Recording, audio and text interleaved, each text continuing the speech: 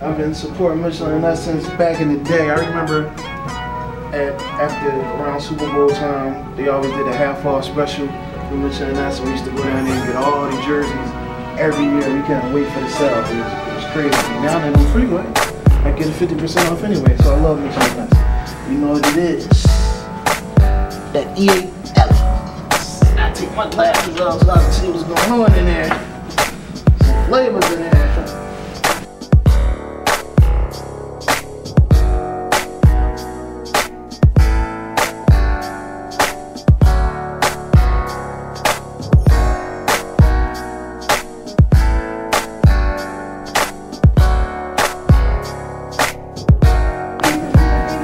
Flavor. Mitchell and Ness. Always coming through.